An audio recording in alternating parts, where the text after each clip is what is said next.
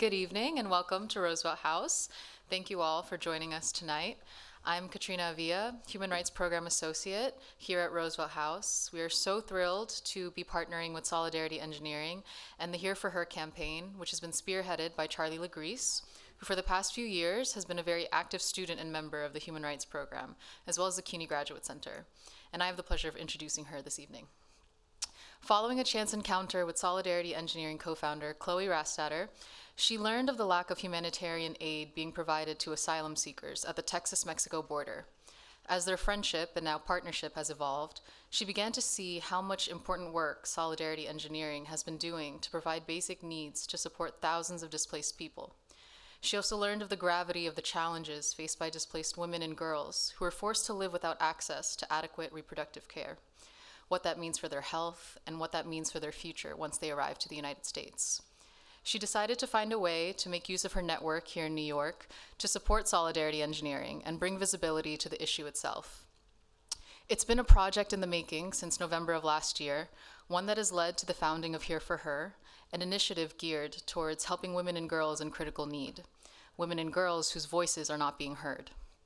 In honor of Women's History Month, and being that the 67th session of the UN's Commission on the Status of Women is taking place as we speak, we are so glad to be raising awareness for this critical issue and to be amplifying the voices and stories of migrant women and girls tonight.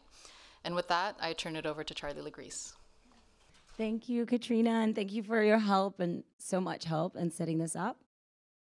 Um, yeah, I just wanted to. Wow, it's really nice to see so many familiar faces in here. Um, some faces who have traveled across the country and across the entire world. um, yeah. Um, so before we get into it, I just wanted to um, say a special thanks to uh, Roosevelt House for letting us use this beautiful historic space where much of the UDHR came to life in the Four Freedoms speech. So it couldn't be more perfect. Um, and she's not here tonight, but I think she's going to be zooming in. I have to give a special shout out to Jessica Neuwirth, who runs the program here and is an incredible human rights defender for many, many decades and has been a huge support in us getting this off the ground. And just to me in general for figuring out this crazy human rights environment anyway. Um, and also, there was a lot of here for her talk going on just now, and I just really want to mention it's been a huge honor working with Solidarity, who are actually doing all of this work we're trying to support. Um, as you may know, there's there's very little uh, humanitarian support going to the border right now, and this I wanted to bring up this situation in New York because something that really stood out to me with meeting Chloe was that the issues that women and girls are facing at the border don't stop at the border.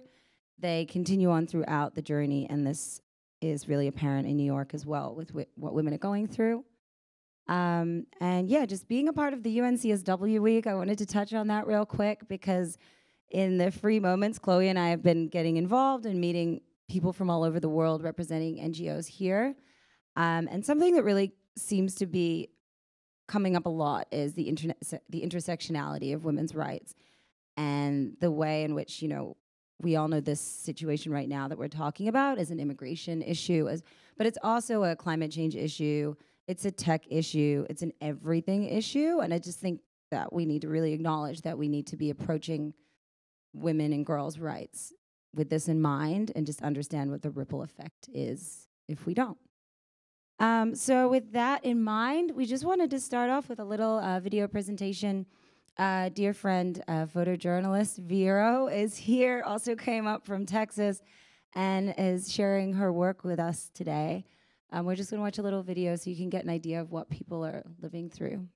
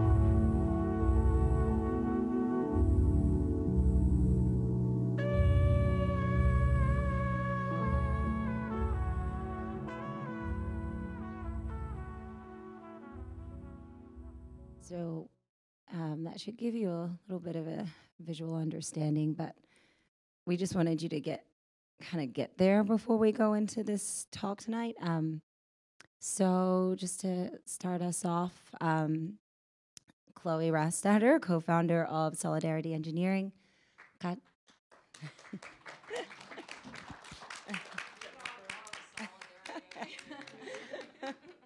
um, this is Kattia Martinez. Um, Kattia is actually able to speak to the real experience of what a woman goes through, and Kattia has lived in the camps of Reynosa and is going to share her, some of her story tonight.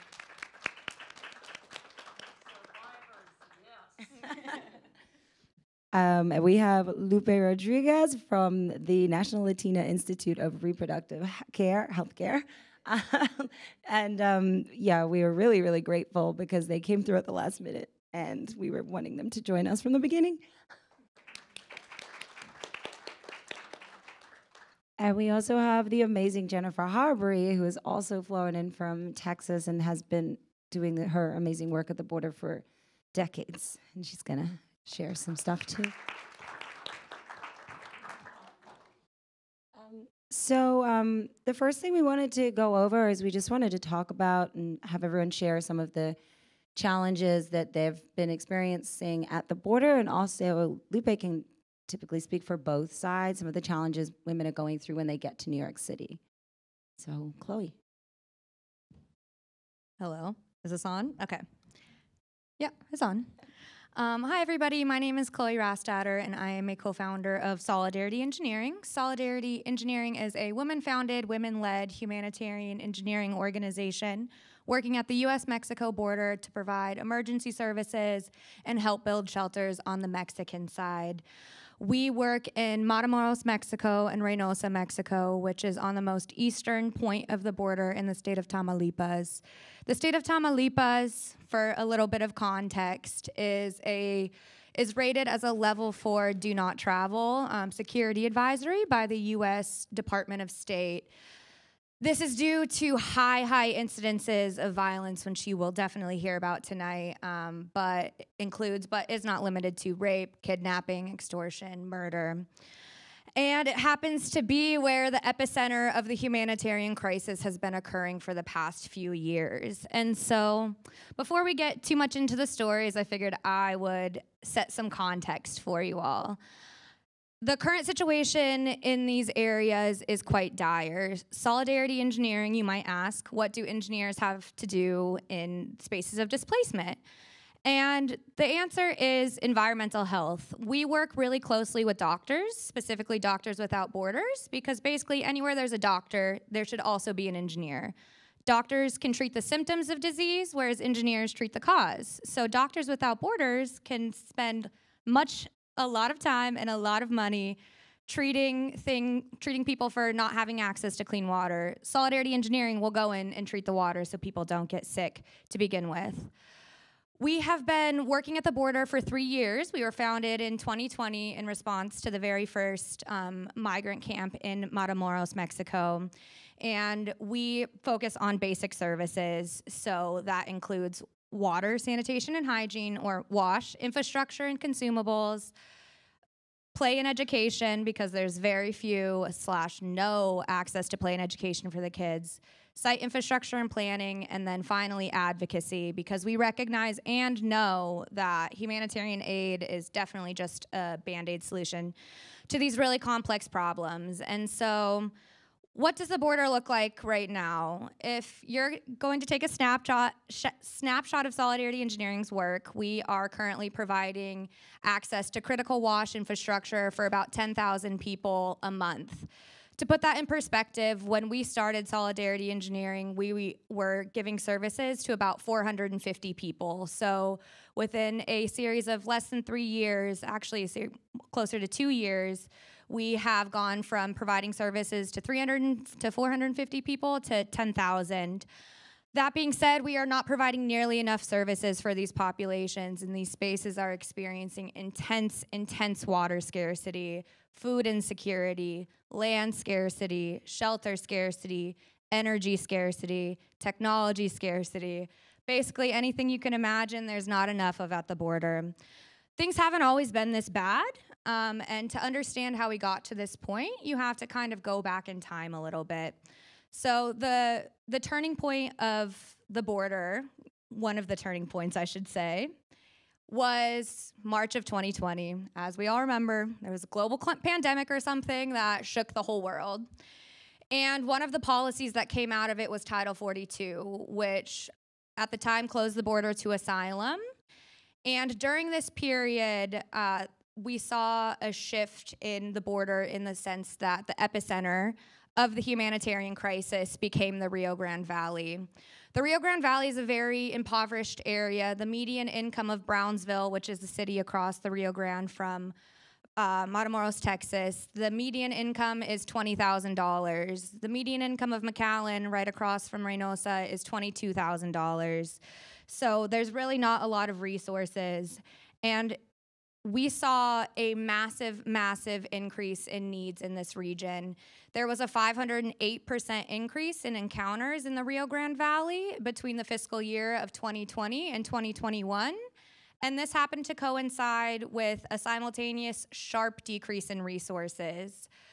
During this period, the Biden administration took over. And within fir- the first 100 days of the Biden administration, they basically came in and there was the camp that Solidarity started in the Matamoros camp. And I'm not going to romanticize this camp. I would never, ever want to live there. I would never want my family to live there. I would never want my worst enemy to live there. That being said, there were showers, there were bathrooms, there was water, there was hand washing stations, there was a playground, there was a school. Unfortunately, in March of 2021, um, the Biden administration came through. Well, fortunately, they allowed the processing of the individuals living inside of the camp so they could cross and apply for asylum. But they simultaneously bulldozed the entire camp, which had over a million dollars of, in, of uh, infrastructure and support put into it over its lifespan. After the bulldozing of the camp, this is when things kind of just spiraled, essentially. The camp was bulldozed, but Title 42 was left in place. And so the only space in the entire area that could take more displaced people was completely lost. And so organizations were forced to entirely start over, and we've never been able to recover. We now work in Reynosa, Mexico, which is the next city over. After the Matamoros camp was bulldozed in March of 2021, a new camp was created within a month in Reynosa, 40 miles down the road, in a much more dangerous area, in a much smaller area. To put it in perspective, the Matamoros refugee camp was 47,500 square meters. The plaza, 5,000 square meters, 3,000 people living there on the size less than a standard soccer field as this problem got pushed into Matamoros, or from Matamoros into Reynosa, and as the Biden administration took hold, we unfortunately saw an intense decrease in resources. And this has not stopped since the beginning of 2021. Unfortunately, the bulldozer of the Matamoros camp was not the first, and that this was not the last bulldoze bulldozing that we've seen over the past few years. And now we're stuck in a cycle at the border where camps are built, bulldozed, and organizations lose everything. We restart, and we keep getting pushed back into a more and more dangerous area in a smaller, smaller area. And so you might wonder what does this have to do with reproductive health? And what does this actually look like? First off, imagine being pregnant or on your period and not having access to water, not having access to a bathroom, to toilet paper, to shower. Unfortunately, this is the reality for approximately 10,000 people. And even when there is access, access is incredibly, incredibly limited. When we interviewed people in Matamoros who are living in one of the camps, because now the problem has grown to the point where we're not going Matamoros, like Reynosa, Matamoros, we're now spread between two cities. And when we interviewed people in the Matamoros camp in January, we asked women, Are you able to safely manage your periods? And 100% of women said no, that they didn't have access to materials and infrastructure to manage their periods. The other thing with this is wash infrastructure dispropor- disproportionately affects women because they're incredibly dangerous places for women in areas of displacement. When you're in the bathrooms and showers, these are some of the only times that you're alone. And so the incidences of sexual assault and sexual violence without in spaces without access to safe wash infrastructure are unfortunately really, really high. And so we're now in a position where 100% of women are telling us they can't safely manage their periods. 5,000 people in the Matamoros camp in January shared eight porta potties. In the Rio camp, we have 10 porta potties for 1,200 people and one make- makeshift shower. You might wonder how how did this happen? And I want to note that all of the photos that you saw when you see a river, that's the Rio Grande. So the US is literally within eyesight of these spaces. And there's kind of three main reasons as to why this has happened over the past few years and why things have gotten as bad as they are. The first and primary one, which I am making my own personal mission to try to address, is nobody wants to take accountability for these populations. Normally, dur- in places of displacement and during emergencies, there's large international institutions that come in and provide basic resources so organizations like Solidarity don't have to. Unfortunately, organizations like the UN, UNHCR, IOM, UNICEF, Red Cross, International Rescue Committee are all absent from these spaces. And they're not absent because they don't know. I am in meetings with them. They are very aware of the situation. But due to increasing political tensions and a lot of complex global dynamics, they haven't come. And so this has put the accountability for these people on small organizations. The US government is not funding these spaces. The UN is not funding these spaces. The Mexican government is not funding these spaces. These, these spaces are almost entirely funded by humanitarian aid. And we've seen a sharp decrease over the past year with multiple organizations pulling out because they can no longer afford their projects. So the first one, the first reason why we're here is no accountability. Nobody's wanting to take accountability for these people. The second op- the second reason is media. Media has largely disappeared from these spaces through the changes of administration. And when media is present now, it's often confusing. The different sides are saying different things, and neither of them are quite accurate about the situation. And so when I talk to people, I find that they don't even realize that the situation is what it is. People don't understand or don't know that these spaces are not funded, that there's not water, that there's not bathrooms, that there's not school, that there's not playgrounds. But yet there's thousands of people here in very vulnerable situations. And the third and final thing that has caused this comes as a part of the confusing media part is philanthropy has essentially completely disappeared. All organizations that I know of have lost major donors who are donating to the border and organizations who are well funded have pulled out over the past year to focus on other things because they don't see this as an emergency problem. We get told that we can't get funded because, you know, development people will look at our projects and say, no, that's an emergency, you need emergency funding. Emergency people will look at us and say, no, that's development, you need development funding. This has been years of a problem. I've been told specifically by somebody who really tried hard to get us funded that when he sent the our proposals all around that conservative donors won't even touch it and liberals make it squeamish the it makes liberals squeamish. And he was sorry but he couldn't get any of our projects funded. And so what this looks like now is organizations are actively actively out of money. We are no longer able to provide water bathrooms showers things like this and when you look at human rights, we have all one shared human right that I specifically am interested, in, and that's the right to health.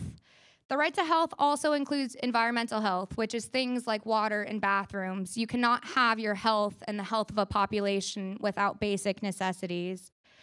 And this right should be respected, and unfortunately, it's entirely violated at the border. The spaces that we work in are incredibly difficult to work in. And The stories that you're going to hear tonight are incredibly hard to hear. They're really hard to work around, and that doesn't even compare to actually living it. And at this point, hundreds of thousands of people have gone through these systems, and hundreds of thousands will continue to go through these systems as things like climate change, political instability, and global inequity due to COVID continue to grow. So I want to thank you all for coming here and spending some of your time to learn about the situation at the border. I know, based on talking to many people, that the, the situation isn't as bad as it is, is be- because people don't care. It's as bad as it is because people don't know. So thank you for showing up and spending your time to learn.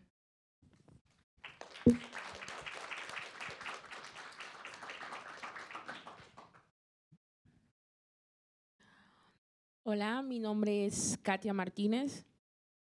Hello, my name is Katia Martinez, and by the way, I'm I'm going to be translating for Katia, as you can see. Soy de Honduras. Em, viví en Reynosa, en Reynosa Matamoros, por ocho meses con mi hija. I'm from Honduras, and I lived in Reynosa, Matamoros, for eight months with my daughter. Quiero compartir mi historia. Quiero decir que como inmigrante que estoy, quiero decirle que no es un juego inmigrar. I want to share my story, and as an immigrant, I want to say that it's not uh, it's not a game to be an immigrant.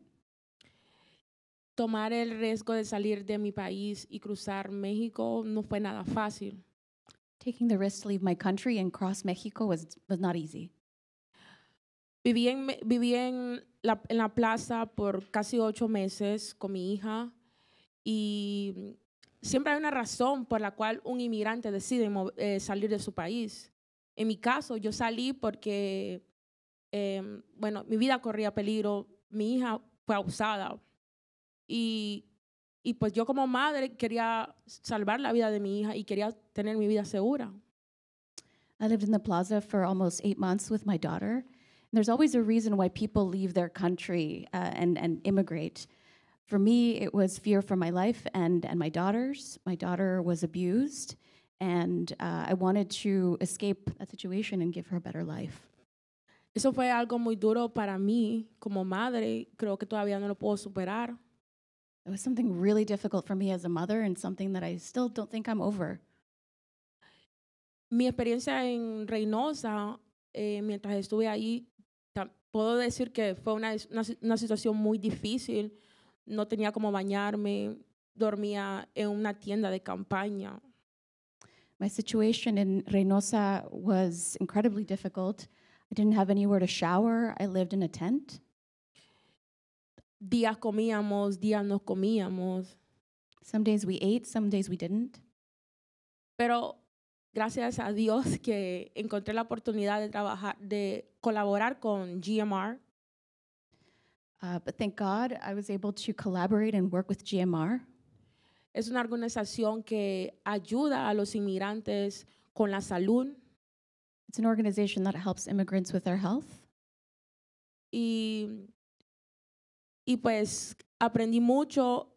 Allí mm, había muchas historias que me impactaban, que inmigrantes salían de sus países, de diferentes países, y de repente salían con su cuerpo completo y cuando ya llegaban a Reynosa, a la frontera, ya llegaban con un pie cortado o sin un brazo, o habían sido abusados o violados. I learned so much from my work there, and I something that struck me was that people would leave their country with their bodies intact, but arrive at the border maimed with without an arm, without a leg, um, incomplete. Y eso es algo que a mí me impactó mucho. Something that impacted me very much.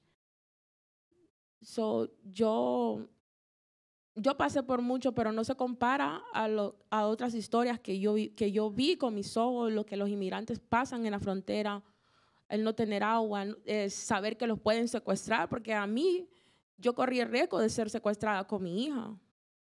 I experienced so much, but it didn't compare often to, to what I saw others experience.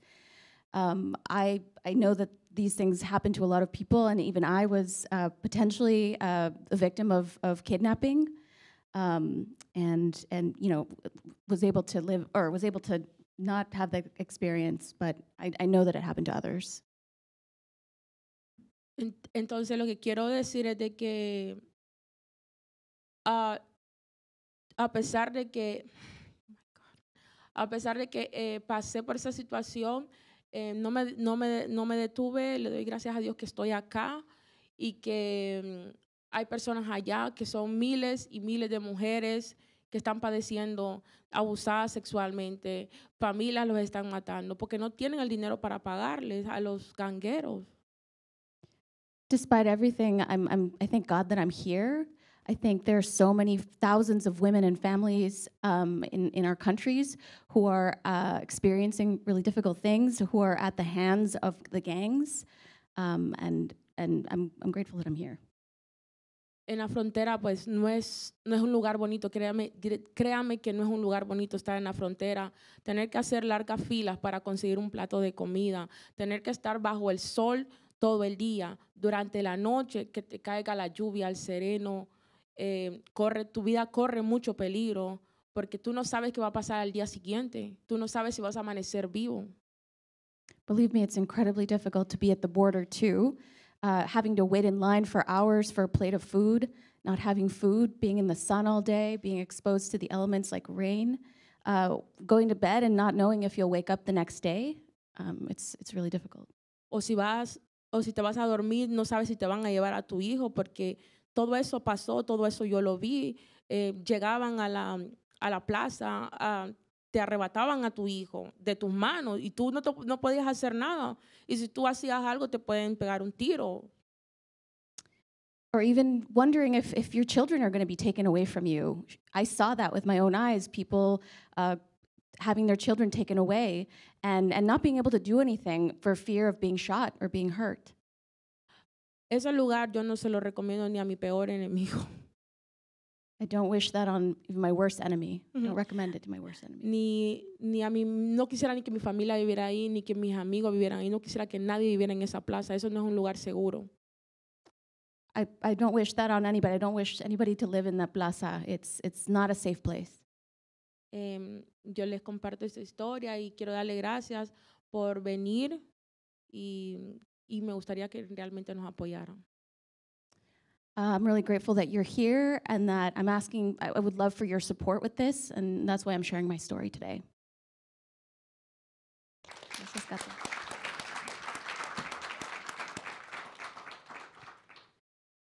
Thank you. Gracias, Kattia. Hi, everybody. Um, sorry, I'm a little. um, me llamo, my name is Lupe Rodriguez, and uh, I'm the executive director of the National Latina Institute for Reproductive Justice. Um, we go by Latina Institute for short, and our website is latinainstitute.org if you're interested in learning more. Um, we are a national organization that works on reproductive justice issues centering the Latino, uh, Latina, Latinx community in the U.S. Um, our work is uh, done through in three ways. We are uh, a policy advocacy organization um, that does work in D.C. We also do uh, policy advocacy work in four states and, and organizing work in four states: uh, Texas, in the Rio Grande Valley, um, in Florida, in Virginia, and in New York currently. And our work is, um, and then our, our third area of work is around culture shift and, um, and you know, conversations really uh, combating narratives that exist around the Latino community, uh, the Latina and Latinx community uh, related to reproductive health and rights uh, and, and justice issues. And we are uh, al- almost 30 years old um, and do a lot of work uh, with immigrant communities in the US, with, with communities that have been displaced and uh, and elevating that as part of a conversation around reproductive justice. So I think the story that Kattia shared about uh, family separation, about the fear that that uh, that many of our migrant communities face, uh, is one that we recognize persists in the U.S. Um, one of the things that uh, to this question about like what we are thinking about are the challenges in this moment for displaced communities um, is very much uh, an a specter of fear um, that uh, persists, I think, from from I think the, the story that Kattia shared about the experience and trauma that brings so many people to our borders persists once they're able to to be in this country even right? And and the continuation of discrimination of um, uh, marginalization of uh, you know inequity that that they face here even even for individuals who are migrants who are immigrants who have been here for many years our work is very much uh, centered around those intersections and thinking through how those communities are uh, and their experiences are brought to the fore uh, when we're talking to policymakers about issues that have to do with reproductive rights and health. Um, of course, I'd be remiss if I didn't state that right now in, in this country, of course, we've suffered a huge retrogression uh, in terms of our um, you know, uh, governmental uh, policy protections around access to abortion care, and I think that that's a huge challenge.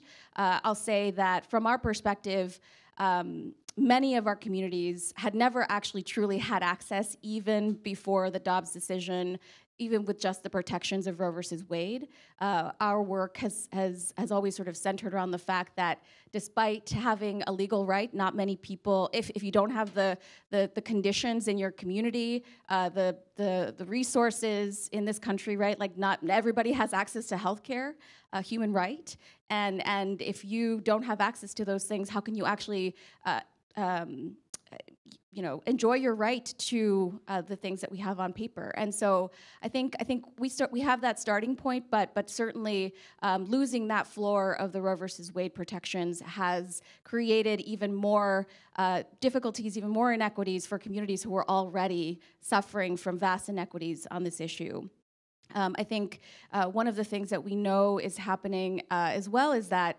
um, so many of our community members, particularly immigrants and, and, and individuals who are in our border states, um, on even on the on the U.S. side, um, are unable to to travel to get the care they need. So, if we're looking very specifically at just at um, abortion care, uh, folks who are in Texas, you know, if if they are immigrants or, and undocumented or or have mixed status families, can can really not travel uh, outside of those states to get care. And I think that that's a really important thing that's lost in this in these conversations we're having about who's who's able to access care in this moment um, in the U.S. And I think it, it, goes beyond just abortion care, right? I think uh, ma- very many communities don't even have access to basic health care, um, even here in the U.S. And don't uh, and and you know where they had entry points with some of the clinics that were providing some of the reproductive health care. Th- if those clinics no longer exist, many of them do not exist anymore. Um, there's not even that sort of like initial entry point to any kind of healthcare for many people.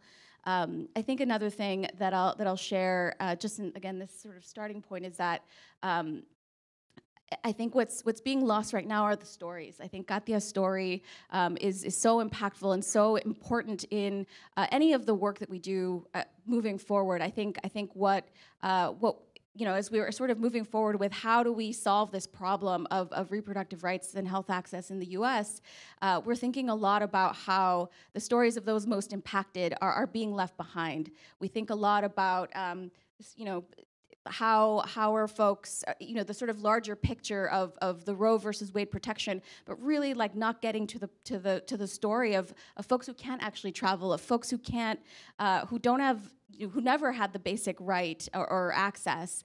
Um, and, I, and I think that, that that's a really important part of, of what my organization and, and what you know, our, our movement in reproductive justice is seeking to do it, is really lift that up and ensure that that's, that's what policymakers hear, that's what the media hears, that's what community members hear and know about. And I, and I you know, I'm so grateful to be, to be here today, to be able to uh, both elevate, I think, what, what is happening with displaced communities in the US, what is happening with communities who have been marginalized for many years in the US, uh, as, as, a, as a connection to um, the really important uh, work that's happening at the border to support communities that are displaced there and that are experiencing incredibly difficult situations. I think I think what I'll just you know say, uh, which isn't isn't um, I mean, in some in some respects, a happy note. I think that that I think we can do this together. I think it's really important to to be able to connect with our stories, to be able to connect to the fact that we have intersecting movements and intersecting values, and that uh, and the people that we're that we're supporting and trying to help are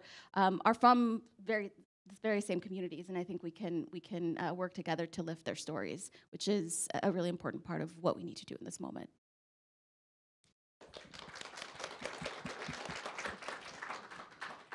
Okay, everybody. I know I have a really loud voice. So if you want me to talk to you without the microphone, it wouldn't hurt my feelings. I've been asked to do that before. You want to hear me this way or this way? With a mic. Okay, glad to do that. oh, yeah, we do have some people way back there. Okay, I'm going to rant and rave basically. Um, I'm a member of the Angry Tias and Abuelas. We're a group of seven uh, little old ladies that got really mad about what was happening in our backyard down at the Texas Mexico border. Um, one of the first things we did is uh, a friend of mine got hold of a tape recording of those children crying who had been taken away from their parents. And we got that to ProPublica, went national, and Trump had to rescind that particular policy. Not that families aren't being separated all the time, every day, but that was our first adventure. And we've been as active as we can. Um, we adore the women engineers from Solidarity Engineering, absolutely new concept for us and fabulous for all women and children. And of course, the people that keep us the most inspired all the time are the refugees themselves. You just heard from this incredibly courageous young woman who not only survived, but she helped her child survive, and she's here talking. That's quite extraordinary. Um, I'm going to uh, just give a summary of the conditions in Matamoros, I mean, the conditions in Reynosa, where I've been working since 2017. Um, I've interviewed thousands of people. I'm a retired attorney, like I said. And I've done the interviews for purposes of trying to get them across so that they can survive even reaching our border area. Our laws have always said if you need asylum, you go to the, the counter where you turn over your passports and stuff and say, I need asylum, I'm in danger. And the officers shall, that means have to, send them for a credible fear interview and processing, and then they go stay with their families unless they're criminals the families pay all the bills and stuff while their case goes through the immigration court. That all changed. All of a sudden in 2017, everybody started getting kicked back to stay in Reynosa and stay in Matamoros, where you just saw an event there that was pretty scary. But what was sad for all of us is we were heartbroken for the four Americans that were shot. But we're also heartbroken for the people who are shot, kidnapped, trafficked, and gang raped every 10 minutes over there. Of the thousands I've interviewed over the years, I'm going to guesstimate that 99% have been kidnapped, gang raped, battered, or lost a child in Reynosa since they got there. That's not including everything that happened to them on the way north, which is even worse very often. Um, the category four security assignment that, that Chloe mentioned of being, uh, that's category four is the most dangerous category State Department has. That's what Iraq and Afghanistan have. And there's a reason Reynosa and Tamaulipas are right up there. That's what they deserve to have. Those are gang held areas, cartel uh, held areas. They know the refugees don't have any protection there. No one wants them there. No one's going to notice they're gone. And you grab them and hold them hostage or sell them, and you make a lot of money. They don't have money, but their desperate families in the United States are going to go find the money. They'll sell their house. And that's, we have basically, by forcing everybody to wait over there, we've created a huge pool of money for the cartels. It's a gigantically profitable business to go grab the refugees. Now they wait for the ransom money to come in, and sometimes they say, well, actually, we want a little more. Or then they sell them, whatever. So I'm just going to give a few examples of what it's like for women trying to save their kids. Like Kattia said, no one makes this trip just for fun. You got to be kidding. No one's up here to buy a new refrigerator or get another job or make some money. I mean, that's just ridiculous. Most women heading north know that they will be raped in all probability on the way north. It's very commonplace now for women to try to get hold of contraceptives or birth control pills before they even start. Many end up with AIDS or other STDs as a result of the rapes on the way north. They're trying to save their children's life, much like her. Uh, a young woman that I met at one point had an eight year old son. Eight is the new recruiting age, forced recruitment age by the gangs in most of Central America. So they showed up at her house. She said, No, it's his eighth birthday. No way I'm sending it, him to you tonight. So they left, dragged him out of school screaming, brought him to the backyard of her house, and in front of her picked up an axe and chopped off his fingers and said, Bring him tonight. She didn't. She fled with him. He was still had his fingers wrapped in a bloody bandage when they reached Reynosa, and they were stuck there, being threatened with more kidnapping, more attacks, more everything, terrified. Um, so that's why people come north. Do women have any exa- uh, any access to any kind of medical care for the attacks, uh, pregnancies, battery illnesses, or anything else that they're going through? No. I mean, there's no there's no period packets, nothing and no one's going to give it to them if we don't get in there, you know, with Solidarity Engineers and others and try to scrounge it up. But it goes way farther than that. So I'm going to give um, just three or four case examples as briefly as I can to just illustrate what's going on. A young Haitian woman had to flee Haiti. Uh, they came after her family. She had a young girl who was already a citizen in Florida, a young daughter. So she was hoping it would be easy. She got to the Yucatan, southern Me- Mexico, after going through the Darien Pass in Panama, which is absolutely the, it's just a massacre zone for refugees. But she made it through. But she miscarried. She had been pregnant. No medical care, of course, so she just kept going north, hoping for the best, and became ill, but didn't know how ill she was. She reached Reynosa, and some people literally carried her into the shelter where we were working so that at least she'd be off the street because she, she couldn't defend herself at all. And she seemed to have had a stroke. So we frantically, you know, called U.S. immigration and said, you know, this woman, it's like you can't make her wait six months in Mexico for permission to cross. It's like she's in terrible shape right now and she'll never get in the hospital. So they allowed us to cross her, which usually they wouldn't. But we were able to cross her. They took one look at her, took her to a hospital, and she died the next day. She, she died of septicemia. She had an infection from the miscarriage that some antibiotics would have taken care of. This is a beautiful young woman from, from Haiti, six feet tall, everything to live for. But the trip killed her, and basically human cruelty and indifference killed her. Another example our, our policy was go back to Mexico and wait your turn to come to the United States. Well, that's not what the law says. Our laws also say you can't send anyone to a place that's dangerous. And while we're telling CBP and Border Patrol officers, don't you dare go to the other side to visit your grandmother, it's too dangerous. We were sending wholesale families back across with small children and leaving them there for years. So, one young mother that I knew from Salvador um, she was from a family of police officers, and the gangs had figured out the best way to control a police family is to kill the kids. So they shot, in fact, I guess the elderly mother in law in her hammock one day and said to this mom, You have a two year old son. He's next. Get out of town or else. So she ran all the way north and she made it to Reynosa, but immediately got caught at the riverfront. And they were kidnapped, her with her little boy and told that if the father in the United States didn't pay the ransom, they were going to sell a child for his organs. And the child understood exactly what was said. The money came through, the dad paid in a really big hurry. They ran back to the riverfront um, and got grabbed again. And this time they were, you know, kidnapped by one group, and then another group came forward and said, No, that's our merchandise uh, with several other families, and a big fight started. And basically, the two groups started machine gunning each other in this small room, you know, back and forth with bullets ricocheting. And she said, all of us parents, we just laid our kids flat on the ground and laid on top of them and prayed. Then we ran to the river, swam across, almost drowned, ran to the first Border Patrol officer we could find, and said, Thank God, save us. We've been kidnapped twice now and we barely survived. And he said, No, it's not dangerous. You have to go back and wait in Mexico and he sent them back.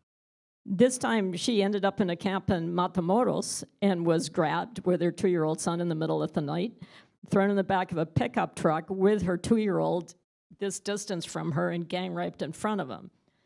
And then dumped out bleeding and catatonic in Reynosa, where we were able to get her into a shelter. I got her the most aggressive lawyer I know. They went to court and screamed bloody murder about, look what you've done to this mother and child. Are you crazy? Let her stay in the US. And the decision was, nah, it's not that dangerous, send her back. So I was working on get her, getting her into Costa Rica anywhere. She was catatonic and stopped eating. The little boy wouldn't eat either.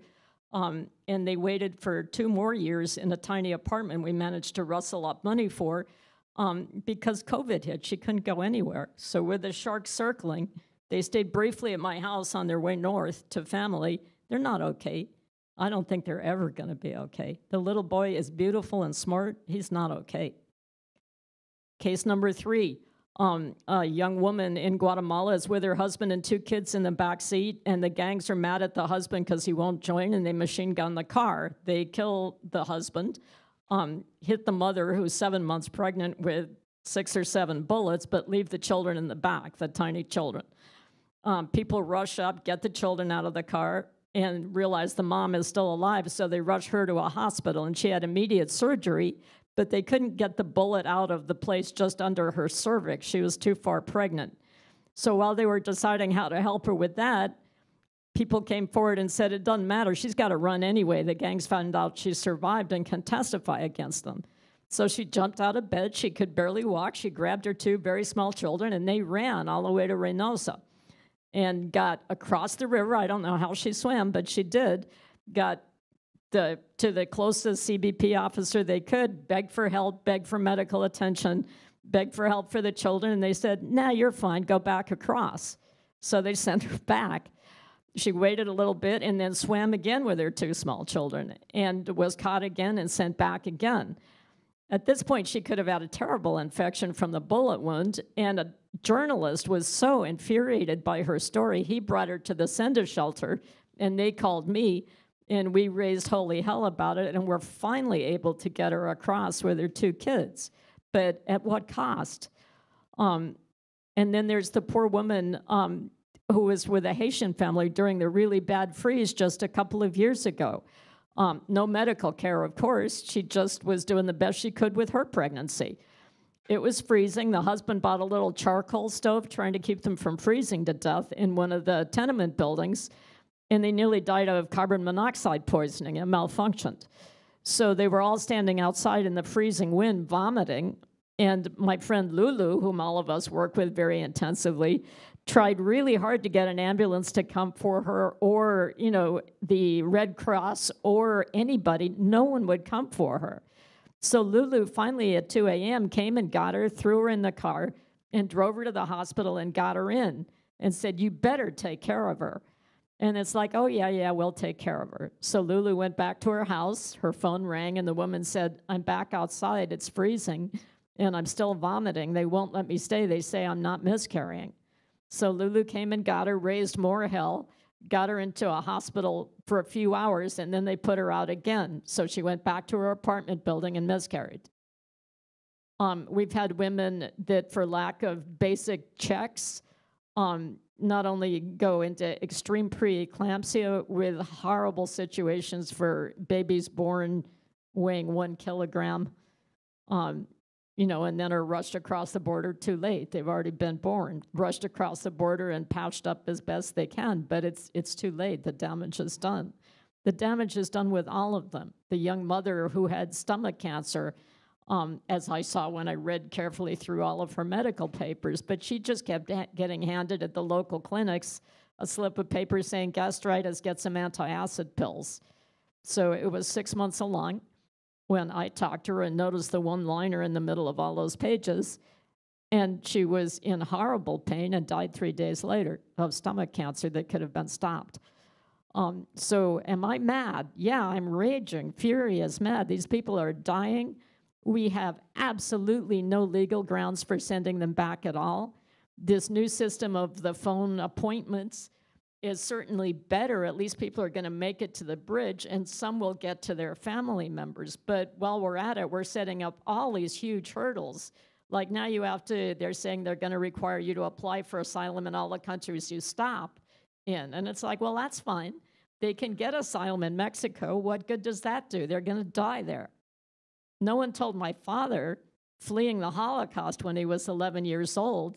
Why don't you go back to Germany, Nazi Germany, and wait your turn? I mean, what the hell is this? So, anyway, I'm very angry about this. I'm very grateful for everyone that's being so sympathetic, and I'm super grateful to Solidarity Engineers and for women like Kattia that can come forward. Thank you.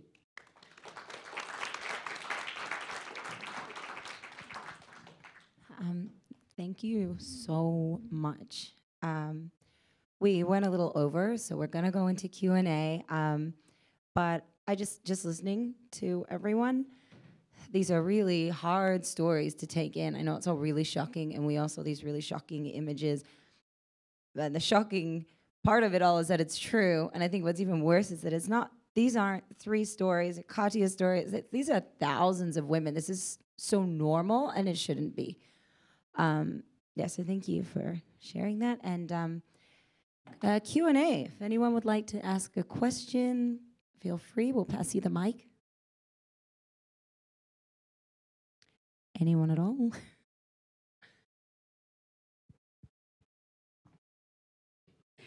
I have a question for Kattia. Um, being in the Plaza encampment, um, did you notice a difference in treatment between the between the men and the women within the camp?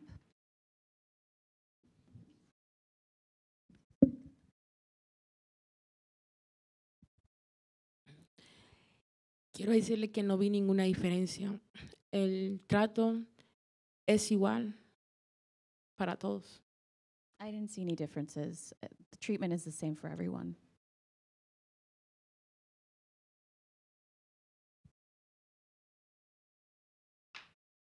My question is How can the public best support all of your work?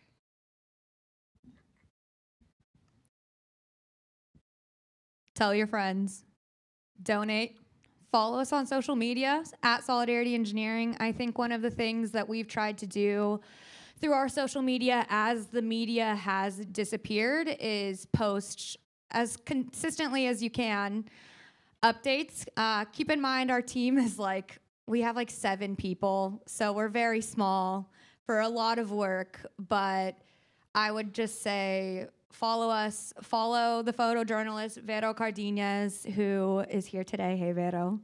Um, and tell your friends. Like I said, I think that we together need to work on changing the conversation around the border from a political issue to a human rights issue. When we first saw, started seeing these camps form in 2017, 2018, 2019, it really was widely seen as a human rights issue. Large publications like the New York Times were there every month, making it very clear that it was a human rights issue. And unfortunately, over the past three years or two years, that's completely changed. So I would just say, keep following what's going on, share with your friends, and take a critical look at how we're approaching this because I think there's a tendency to think that this is a party line issue, but the reality is we're already seeing exponential displacement, like an increase exponentially in displacement worldwide due to things like climate change, like water scarcity, which, you know, really exacerbates problems like violence and instability. And so this problem isn't going away. Within 2050, we're going to have well over a billion people displaced. We currently have 100 million, and look how that's being handled. So I think there needs to be some serious shift both in the general public sphere, because then that will then force and put pressure on these larger systems to get it together. Thanks. Lupe, do you have something to add to that as well, speaking from the East Coast or from, you know? Yeah, definitely. You know, I think, um, well, I'll, I'll, first invite everybody to uh, sign our solidarity pledge at latinainstitute.org. I think uh, that's a good way to stay connected to the work that we're doing in ter- throughout the U.S. and and certainly uh, in in D.C. and with the administration around many of these issues related to uh, immigrants and and the experience in the U.S. Um, around reproductive rights, health, and justice. And um, I think that that's that's a first step. I think um, certainly invite you to, uh, you know, to join in, in, in supporting the cause. Uh, if you can donate, I think that that's always important. I would, I would say for everybody here, um, one of the things that, uh, it okay if I share our pre-conversation just about resources? Um, this is an issue that, um, that was, as Chloe mentioned, is not, um, is not being funded um, by uh, uh, organizations that, that usually provide this aid. I think certainly, you know, we know in the U.S. communities of color, communities that are marginalized, have always been under resourced and and and not given the attention and support that we need. And so I think um, we we we need the support of, of, of the community to subsidize our work and to and to really support the the building of power that we that we need to do.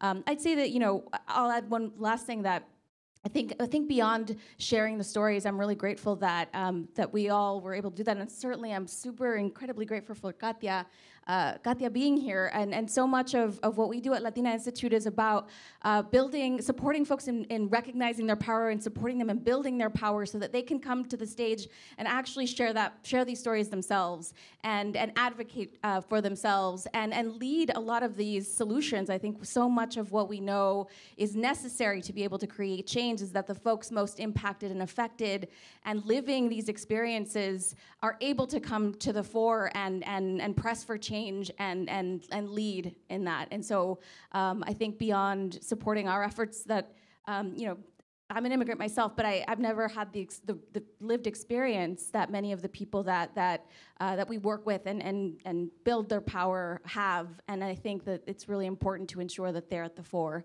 Um, and and joining joining this cause is, is a part of your support to do that. Um, I think we have time for one more. Yeah, hi. Thank you for sharing your story. Um, I just would like to ask how much influence, in terms of policy wise, that you were able to get the government of that country to support, especially when it comes to the gang, the violence, which is happening in their border. Um, while we reach out for the support of the country here, um, I'm also interested to know, you know, the, the support of the government on that end um, to see if you get any support at all from them. Thank you. I mean, certainly it's important to give support to us groups that pretty much give 100% of donations back across the border. That, that's what we do, right? Everyone's sitting here. Um, in terms of what's happening in Central America, it's important to know the history a little bit. During the Dirty Wars, the armies massacred, you know, throughout Central America with the death squads. People disappeared. 600 indigenous villages were exterminated in Guatemala in a short period of time in the 80s, which most people don't know about it. 300 people killed in an afternoon. When the war ended, they had already, high level military people had already started getting very involved in the drug stuff because, hey, money. So when they didn't get money from the United States government, which they got throughout the dirty wars, um, despite the legal bans on that, they got it anyway.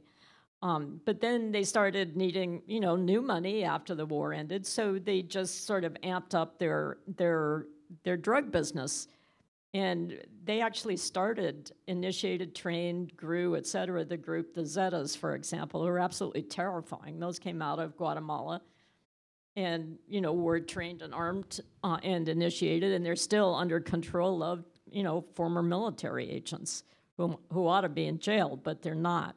So people can't just fix their own country, as I often hear. They tried in the 80s and they were slaughtered, and the United States played a very important role in that. Um, that's in a lot of files. You can go to the National Security Archives with Kate Doyle's stuff and, and read some of those documents, but our government worked very closely with them. Right now, the top level drug lords and stuff um, are many of those used to work with the CIA, and I'm not making that up. I have those files. They were involved in my husband's murder and torture in Guatemala in the 90s. Um, but so they were getting all kinds of money from the CIA in return for information from people they were torturing de facto. Um, but once you've worked with the CIA, the CIA will not let anyone go after you. So we're now protecting some of the worst drug lords running people out of Guatemala. if I go back in, I'm likely to get thrown in jail because the people in my husband's genocide case um, were on CIA payroll. What can I say? That doesn't make me proud. Um, but so it's very, very complicated. We're protecting the drug lords. We're still working with them because they're military people. And the Guatemalan army's always done anything we wanted. They were with us at the Bay of Pigs, 1954. They did this sort of coup and got rid of a reformist president that upset the United Fruit Company. Um, during the Contra War, they let us let the United States use all of their military bases and stuff. We work hand in glove together. So we're going to have to get into some really complicated policy issues if we really want to straighten this out. But just saying people should stand up and fix it, well, this morning, uh, uh, a prosecutor who was a lead prosecutor in a huge genocide case a few years ago that was later annulled is working on another genocide case against another general. He just got thrown in jail this morning. Uh, judges are going to court in bulletproof vests. Um, it wasn't the first time that guy happened to get thrown in jail. He had just got out of jail. Um, in a closely related case, they just ran the judge out of the country. Um, so it ain't easy. I think also I will add to that. Um, in Reynosa, for example, we have been. You have to walk a line, right? Because the government is going to inherently be involved. However, we have found that the government has made our jobs much, much, much more difficult in many instances. For example, when they wanted the plaza closed, the informal camp that Kattia um, lived in, they told organizations basically an ultimatum build a shelter or like build a shelter eh, or we're gonna bulldoze the camp and there's gonna be thousands with literally nowhere to go.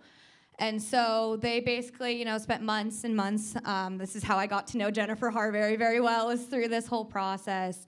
There was a lot of pressure from the government to build the shelter, but there was no offering of resources.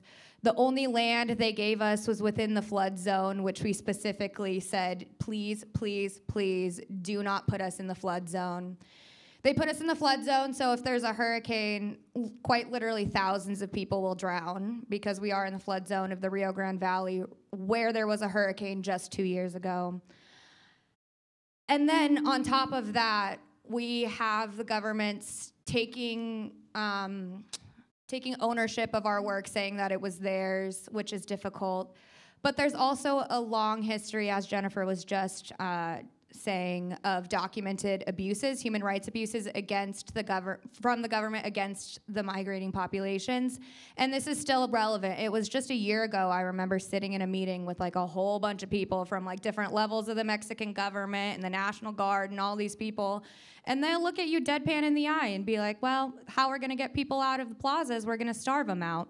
And that's that. And so it's really difficult to work with those entities when they're actively not just perpetuating violate like violence against these populations, but they're advocating for it as well, and they're advocating that the human rights organizations support them in that. And so it's quite complicated. Um, you have to walk a balance. They are part of a lot of these conversations, but a lot of the time it feels like we are being put in worse positions because of them and they are the reason the mexican reynosa government is the reason we have been pushed to one of the most dangerous neighborhoods in the most dangerous city in a flood zone that was not by choice so yeah Thanks, Chloe. Um, so, oh, does anyone mind if we take one more? This is not a question, it's a statement. I've been to a number of these talks, and this room can really be filled to overflowing. This statement here doesn't really address the issues that you have all collectively uh, been talking about. This is an issue around our southern borders. This room should be filled. And because you've turned it into a woman's issue. It's not, it's a humanity issue, and it is a policy issue. It is a shame that this room is not packed to the limits. Tell your friends about us. It's a little late. Well, Can I? Can I? Can I just say? I'll Thank you though for Can pointing I, can that I out. offer something to that? I think, you know, I think it's uh, agreed that it's incumbent on, on us to extend an invitation to everybody, but I don't think that this, this statement alone should be an alienating thing to people. And I think so much of the work that we are doing, and I think all of us, is, is about ensuring that there's a recognition that women's issues are everyone's issues, right? And we shouldn't have to say that if we're talking about reproductive rights necessarily, that that's just a women's issue, right? Um, and you know, there's more work to be done there, absolutely. But but we're not, you know, just making this statement shouldn't be alienating to people. And I think and I think we're working to change that. And and we don't want, you know, uh, I don't want that to be lost. That that it. it uh, I think that's a that's a societal problem and not necessarily an us problem. We also will have this recorded, so please, please, please share this recording with anyone who you think would be interested, anyone who has connections to maybe make some impact in this area. We definitely, our priority is to get more help. Like, that's all we can do at this point. Like, we have done everything we possibly can as the border response, and now it's time to bring more actors in. It's a missed opportunity. Hate to say it. Well, we could create another opportunity if we need to. I will, I pretty much will open my trap anywhere, anytime, and yell really loudly, so. I- And I have, pretty much nonstop. Just to add a little bit to, and this is something all of you can do in addition to what was just mentioned, right? You know, the most realistic thing, everyone wants to send food and clothing and stuff, and it's like, yeah, they need that. The problem is getting it across through Mexican customs, right? It's like, it's hellish to try to do that. Used clothing we're not allowed to bring. A lot of types of clothes, a lot of types of food we can't bring, some. Um, so what's really most urgently needed is cash, and that can be, you know, we can use that to buy food on the Mexican side, which is cheaper, and go to the tianguis and, and buy used clothing and stuff over there. There's Solidarity Engineers, there's the Angry Tias, there's your organization. Um, we're all front lines. We're not in competition with each other. If they run out of money, we try to find some for them, and, and they build the water towers. that keep our folks good. It's like, just do it. And if you want to invite me to come back and, and yap, All right, Jennifer, I'm sorry, I gotta, I gotta take that offer to, to wrap it up. But if you would like, we would love everyone to join us upstairs to continue the conversation, because clearly there's a lot more to be, to be shared. Um, so if you would like to make your way upstairs, we have some snacks and drinks up there. And thank you for coming. Yes, this room should be full, but we're really grateful that you all came. Thank you.